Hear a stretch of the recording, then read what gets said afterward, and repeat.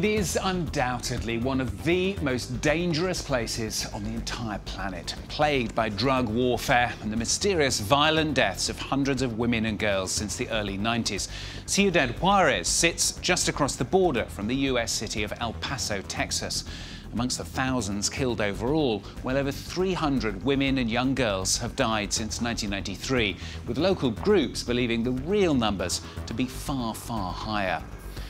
The cause, the drug trade, but also sex slavery, even satanic rituals. There have been many federal and state investigations, but still the authorities seem unable to identify most of the killers or even establish strong motives. Some have been arrested and imprisoned, but often claim their innocence. We were each sentenced to 40 years in prison, but I'm going to appeal. I'm completely innocent.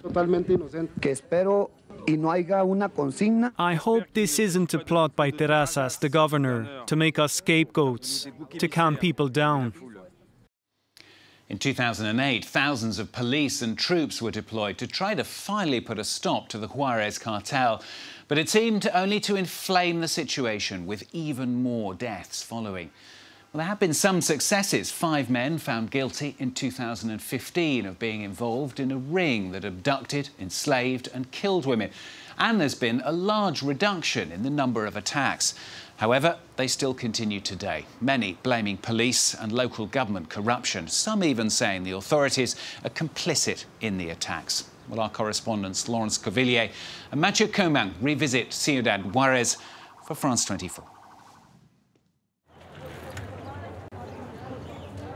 In the center of Ciudad Juarez, these women relentlessly put up the faces they dream of seeing again their daughters.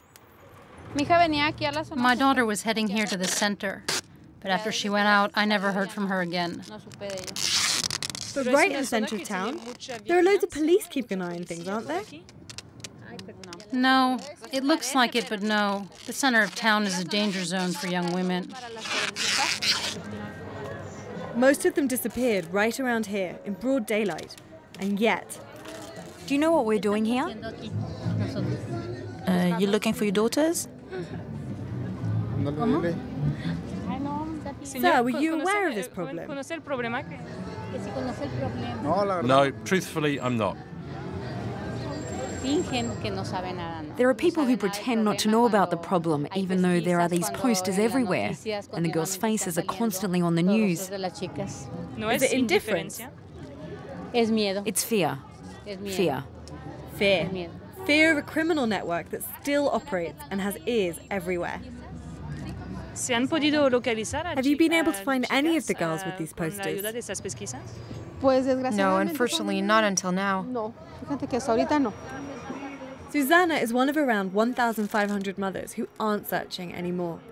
Her daughter Lupita was found dead in 2012. The investigation showed that the 17 year old girl had spent months after her kidnapping in this sordid place, the Hotel Verde. This is where a criminal network exploited underage girls for years, and it's just four blocks away from the town hall. Lots of people spoke out about this. People I didn't even know were pointing and saying she was there and she was there and she was there too and we saw her at night. But they weren't looking well. They seemed drugged. And men were abusing them. Lots of parents had heard the rumours going around about this hotel and alerted authorities. I came here with police to look for my daughter, but they just asked the receptionist, Have you seen her? The receptionist didn't even look at the photo. She just said she didn't know anything. Ciudad Juarez, a prime spot for prostitution. Its location right by the border pulls in Americans hungry for less regulated sexual services. It's also the spot where factories called maquiladoras flourished in the 90s. There, poorly paid hands would assemble all sorts of items for the American market. Many of the disappeared women worked in factories like this. One man every five meters, please. Over the last four years, investigators have combed through a six kilometre quadrant. Arroyo del Navajo. This is where lots of skeletal remains connected to the women's murders have been found. 26 women's bodies were found here, including Lupita, Susana's daughter. It's down there, look. With every sweep, the police fear finding a new corpse. There are bones, but I don't know if they're human or animal, so to be sure, we pick them up and send them to a lab. Members of the Hotel Verde network would come right here, just an hour away from the city, to dump their victims' bodies. We now know who was behind all these murders the Aztecas, a criminal network with over 5,000 members that deals in drugs, guns, and human beings. Last July, five men were charged with being part of the ring which killed the women found in the desert.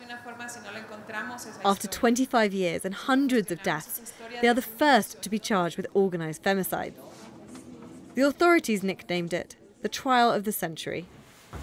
But those who followed the case closely know that those men were just at the bottom of a chain of command. The real bosses are still free. They keep stalling and stalling their hearings. A hearing was due to happen today, but it's just been postponed for months. We've never seen the police take any kind of initiative in the investigations. Like, you know, we went to check this out and found this. No, it's the opposite. When we take them to look somewhere, they'd say, Oh no, we can just look here, but not over there. We'd ask why, and they'd say it's their boss's orders to look in certain places and not in others. The people who are benefiting from the setup are the authorities, municipal police, federal police, and the army. We know they'd go there for sexual services, so they'd give those responsible certain protections. Despite many criticisms, the department responsible for investigating gender based crimes stands by its findings. In this kind of criminal activity, human trafficking, there's no one of low importance. Everyone involved plays a role, and every role is significant. From my point of view, there hasn't been negligence. The people responsible were caught. We managed to catch them. Over the 20 years of unresolved crimes, the family's persistence for justice has created some martyrs. In 2008, 16 year old Ruby Marisol Escobedo was murdered. The investigation went nowhere, so her mother Marisela took matters into her own hands. She tracked down the daughter's boyfriend, certain he was the killer.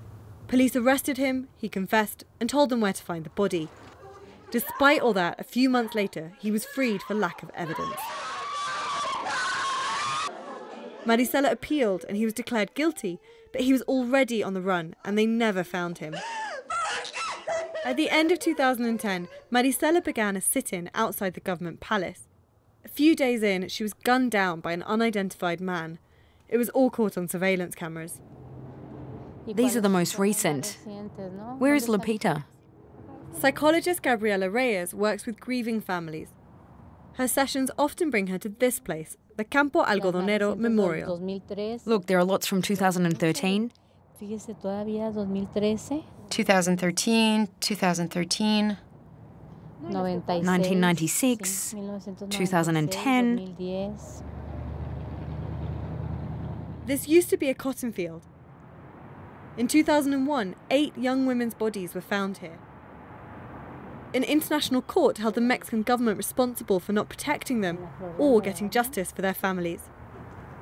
The state agreed to build this monument as a symbol of recognition. This is just a tiny token gesture compared to everything the government should do. las que acompañamos son casos ejemplares y no las olvidamos. Ellas ponen el dedo en la llaga, destapan la cloaca y brota la cagada. Las pesquisas aumentan las cruces pintadas. Rubia and Maglovio are graffiti artists and singers. Their work talks about the disappearances. Chihuahua es de los estados más Chihuahua is one of the most macho, conservative states in the country. If it weren't like that, we wouldn't have all these women being murdered here. We would have reacted and we wouldn't be letting it happen. But what do we do?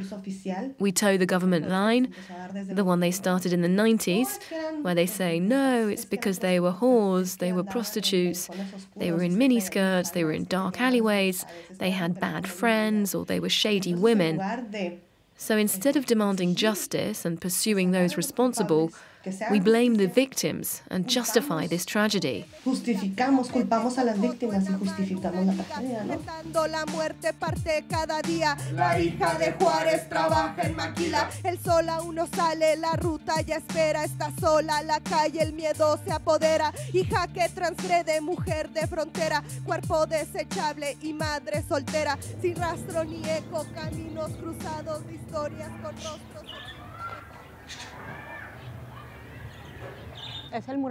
This is a mural of Maria Sagrario. Eh, Everything in the mural, every painting here means something. There are the pines from the mountains in the state of Durango. That's where we came from. We got here in 1995. Like thousands of families, Paula's came here lured by the promise of the booming factories. In 1998, when Sagrario was 17 years old, she was kidnapped as she left a factory. Her body was found two weeks later. Her family came up with the idea of planting pink crosses where the women's bodies were found. They became a world famous symbol. We realized that dating back to 1993, 1995, there were cases where girls would be murdered and their families basically didn't want to know anything. They'd leave town and didn't want to hear about it. But it was the opposite for us. When they gave us the remains they said belonged to my daughter, we said this doesn't end here.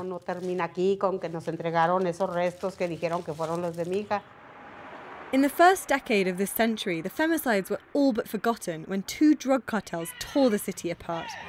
10,000 deaths in three years. Ciudad Juárez seemed to bury violence behind more violence.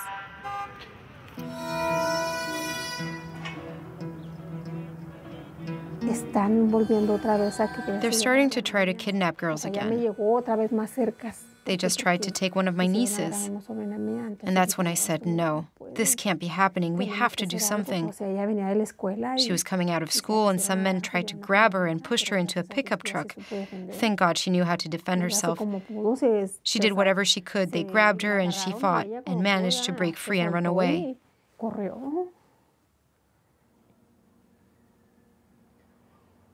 We're really heartbroken. And that's why we're begging authorities to protect us more.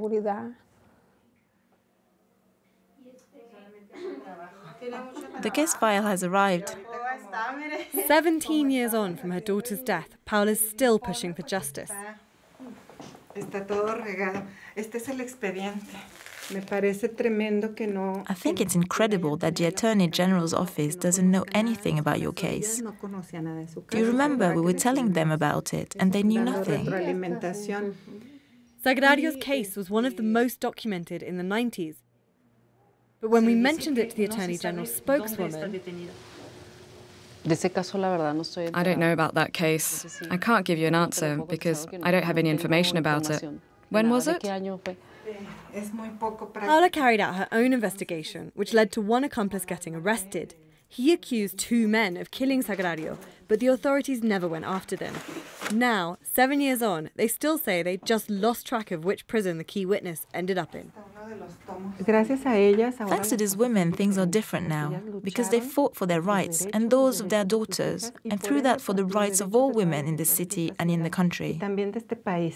Because now in Mexico, people talk about women being murdered. But back in 93 or 95, no one in Ciudad Juarez or in Mexico talked about that. When her daughter died, Paula had no idea what she was in for. They did the first DNA test on my daughter in September 1998. and it came back negative. So I had hope she was still alive. First negative, then positive DNA results came in. Then, to top it off, when investigators went to exhume the body for more tests, they didn't tell the family and dug up the wrong grave. With all the mistakes the authorities made, I had and still have hope that my daughter is alive. Because of everything the authorities did wrong. It probably sounds crazy to you, but I still look for her whenever I see a young woman. The government can offer me whatever they want, but all I care about is catching my daughter's killers.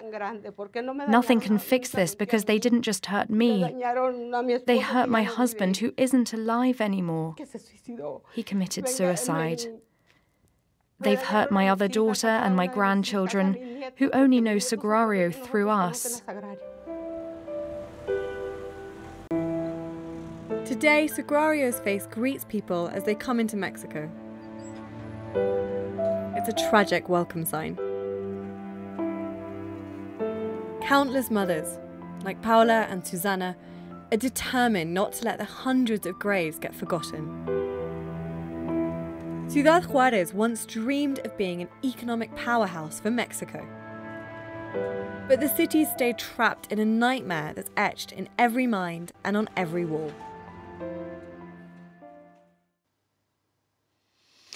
Ciudad Juarez revisited for France 24.